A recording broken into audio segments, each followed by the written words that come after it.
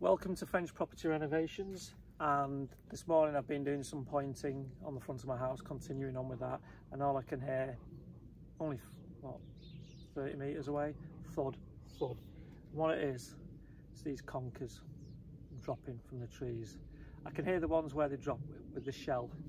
So we're going to have a little talk about trees wood conkers and May 8 acres and what I'm going to do with it. And because I'm a plumber, my knees are not so clever. So what I'm going to do, I'm going to use this. That is like a paddle. It's just one piece of wood, circle with a pointy bit. And this is a carved back with a hole in it. It's African, like a tribal seat, I think.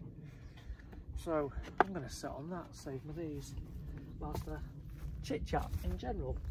So I'm into uh, sweat equity and trying to build some equity up in this property and uh, I'm going to sell it. And you're wondering why is he going to sell it? Eight acres living in France bliss well I love trees uh, I have to say and I find them phenomenally beautiful. Uh, they give us oxygen to breathe they help in the uh, climate change if we were to grow more and I just like them so I want something ideally my next step up is going to be something with more buildings to renovate and probably a bit more land where I can grow some trees plant plant some trees even create some walks for the future and leave something of a bit of a legacy there. And uh, that's the my idea ideal. And coming to France I watched quite a few YouTube videos on permaculture where it's good for the animals where instead of having one great big open field, we've got a field that's full of trees, which offers some shade for the animals, be it cows, horses, sheep, whatever it is. So I've got two full grown trees that are in a good good standing and uh, producing fruit, nuts, whatever you want to call them. And I've noticed with this conker tree that I'm getting more conkers on the east side, which is the side the sun comes up, uh, and probably not the hottest I would have said, whereas the southerly aspect of the tree is giving me less, which will get most of the sun during the, uh, the daytime, and the west side is getting probably the same as the south, but the north facing side, I'm not getting very much fruit, fruit on that at all. But these have been on the floor now, and this is this is the, the harvest, shall we call it, so far. So there's quite a few. I bet we're 50, 50, 60, and that's what I can hear uh, when i have been working and we've got a a little bit of a breeze. These dropping, and if you look at it, it's just starting to open this one, and it's amazing how some can drop and the they're still green like this one. I mean, this one's pretty be beautiful if you look at it. It's cracked open there. And if we open it up, I mean, how phenomenal is that for Mother Nature? Two, side by side, beautiful conkers making like a whole circle. I find that phenomenally beautiful. Now, none of these seem to be getting eaten by any form of animal. Um, I think back home they might have been eaten by uh, squirrels because obviously we've got hundreds and hundreds of grey squirrels. But I've not seen any squirrels here up to now. Hedgehogs I keep seeing my little hedgehog at night time. But look at this one. I mean this one's beautiful. You know you've got three there all packed in. I think this is triplets in uh, our terminology. But then they're coming out there and they're, they're be beautifully shiny wonderfully shapes all different. But you're asking what I going to do with them? So the fruit doesn't fall far from the tree. So that would give me probably, I don't know, we're talking odds here, 50, let's say by the time the harvest is finished, end up with 100 conkers.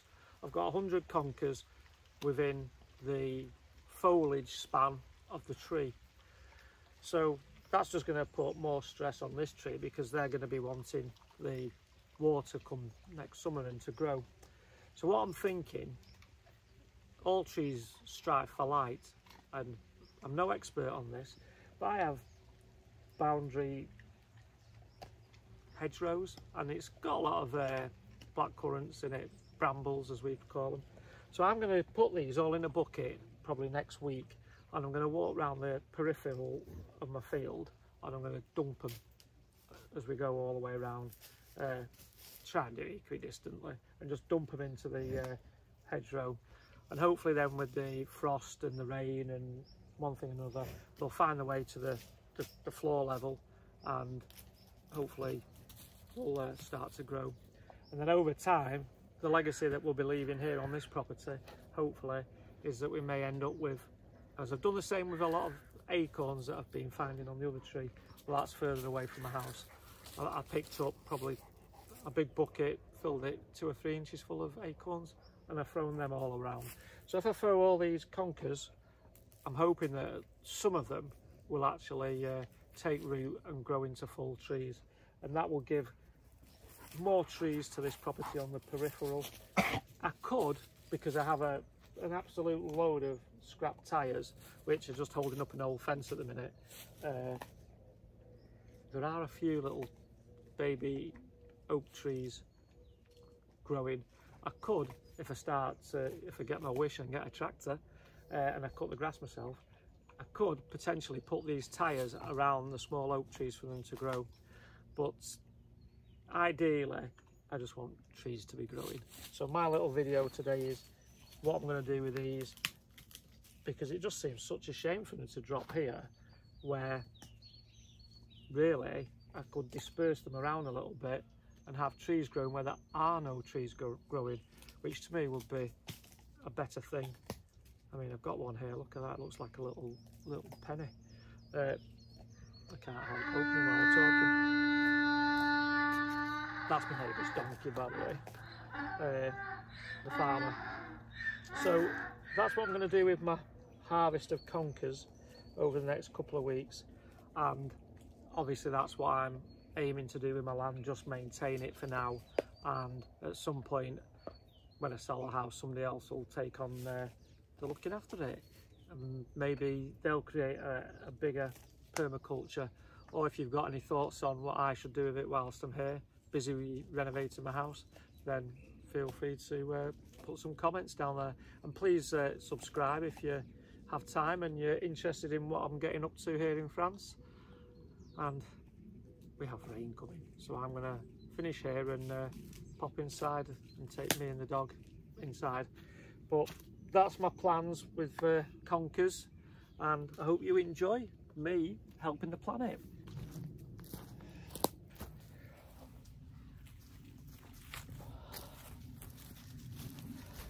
Hello and uh, a little update now on uh, my conkers. Probably five days has gone by and we've had uh, thunderstorms, wind, you name it. So when you actually look at the tree now there's there's not many conkers left on uh, the, the horse chestnut tree. Yeah, horse chestnut tree. Anyways, I have a, a new addition to the uh, the clan here. Uh, I've called him Tiger Bear. So we've got Trev. He was here a minute ago anyways uh, what I'm going to do now I've got two buckets of conkers there or thereabouts. This bucket I've counted out and there's 565 conkers in that one. So I don't know if you can see them but 565 in there. And what I've done I've had a little wander around my the perimeter of my field and uh, it's 1250 steps so it's working out about 2.2 uh, strides and if I throw a conker into the brambles and into the, the hedgerow, I'm hoping that they'll grow. Because obviously here, the conkers are dropping and some of them are landing in the shells. Maybe the shells are a bit of protection for them going into the winter and the leaves. But ultimately they're getting semi-buried in the ground. So my understanding is they need the frost, they need the, the cold and everything, but I don't want to put them where it's too, too wet because uh, obviously they'll rot then. Uh, so one bucket's going to my friend to make uh, soap with. Uh, that'll be interesting. So they're going to make soap with that bucket and this bucket I'm going to put around the peripheral uh, of the field so we can maybe possibly start with uh, a permaculture of conkers and horse chestnut trees and oaks because there are some oaks around the edges and obviously along this fence line here I've got a lot of spare tyres so I might drop one in all the spare tyres and just leave nature to do its thing. Now I'm also going to I'm going to plant these obviously uh, probably tomorrow plant them disperse them but this sycamore uh, that's from Preston Prison that and uh, so it's an English sycamore not a French one uh, but it's been a bit abused it was cut here on its main stem. This one's taken over so over time I'm hoping it'll grow into one reasonable big tree with a, a normal trunk over time because obviously it'll get bigger and bigger.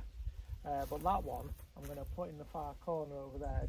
Bring it out a bit maybe six meters um, plant it there because now everything's cooling off and that bit of ground there is generally uh, damper uh, a bit soggier in the winter uh, it was when I came in February so that's going in there it doesn't need to be that deep because obviously it's been in a pot this summer because I couldn't plant it because it was too hot.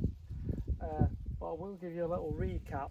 I took some, uh, I think they're ash, and there was about five ash trees growing right next to my house when I arrived. So I dug them all up, dug them up as best as I can, and there's definitely three growing in the top fence fence line. So to finish this video off, I'm to obviously try and take you up there and show you that they're, they've survived the summer basically and I think that's a, a very good positive for, next year and for the longevity of them to grow. So rather than killing them, uh, just discarding them, throwing them on a bonfire, uh, we've actually got three, I think they're ash, trees growing.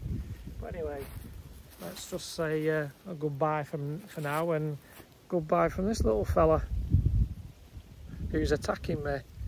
But I don't think he's going to jump or is he? Maybe if I lower myself down and we finish this video. Say goodbye. Hello and uh, I think this is the last chapter in my amazing horse chestnut tree. And the reason I'm going to call it my amazing horse chestnut tree is that I started off with around 100 conkers that had uh, harvested from the tree in the beginning of this video. And subsequently I've ended up with two big, big buckets of conkers and the total's around about 1,400 conkers. And I am flabbergasted, amazed. I can't tell you how my thought process process is on that one. And believe it or not there's still a few more to uh, to drop from the tree and I'll just either leave them where they fall or put them down the centre of my field where there's like a, a little gully where the land meets from one side to the other. It's like a gentle rolling, if you can imagine, with a very slight little valley in the middle. So I might throw them along there so I end up with a nice row of trees in the middle. But anyway, we're at the top of my field here. You can probably see my fence line behind me. And this tree, uh, I think it's an ash, but this one, there was about three or four of them at the front of there my house and I'm probably reiterating here but this is the actual trees now. So this one has uh, survived the summer which in my opinion I, I, planted it April March April time. Wrong time of year to be moving trees but I really didn't want to burn it on a bonfire or cut it up and let it rot.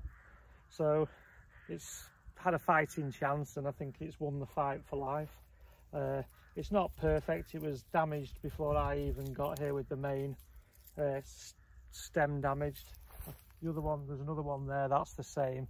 I think there's two in here so I've, I've got four along this fence line and as you can see there's no trees here. And I'm quite happy with that because I've gained four trees and I like trees. So I've split my 1400 conkers. Some of obviously like I previously said are going to my friend to make soap. And the 700 that I've got are going to go all the way around the edges of my my field uh, to hopefully grow. And I've crushed all this uh, nettles and whatever. You've probably got one meter one and a half meters of I don't know what, how you'd explain it brush. Not grass anyway. Uh, stinging nettles thistles brambles you name it you, you, you're losing probably one and a half meters of your field. So my theology thinking here now is that if I throw the conkers into this undergrowth, that's the right word, undergrowth, that hopefully they'll, uh, with the frost, they'll germinate and they'll grow. So if I end up with 700 conker trees growing, horse chestnuts, that is a lot. Uh, but you can always thin them out, you can use them for firewood, so they'll have some use and then you can leave the, the biggest, the strongest uh, to grow and then once this, they start getting big enough, they'll shade out this undergrowth and the undergrowth won't survive them because it won't be getting any sunlight. Uh, but the trees, in my opinion, will look far nicer, like ring fencing your, your, your property. So it's a bit of a legacy job, this, because uh, I, I, don't think I'll be able to see them in the full full growth, but somebody will. And all human beings will uh, gain the benefit of the oxygen and help stop global warming. So 700, if I get 350, I'd be super happy. So that's the, the job this afternoon, this September. 23, 24 degrees, lovely. 9 degrees at night time, so it's getting cold. We're getting autumnal now, so I'm hoping it's the right time to get all these dispersed and hopefully they sink to the bottom of this uh, brush and they can do the natural nature thing. But I'll just give you, I'll spin the camera around, just to give you a bit of an idea. Uh, and this is, this is what what we have basically. Uh, and over this side, I've got towards the, the dead oak tree, I've got uh, brambles. So I'm just going to chuck them all in the brambles basically. And uh, over time, hopefully they'll uh, shade out the brambles and the brambles will disappear. What else have I got to say on this? I'm going to probably put this on time lapse and you can probably see me walking around a bit of the uh, the field or maybe uh, I'll go, go down the middle, uh, come back round so you can have a, a see on the view on the time lapse and uh, I think we're all good there. Hopefully you, you enjoy it and uh, you'll subscribe. Beautiful day though, blue sky everywhere, can't beat it. So that's us.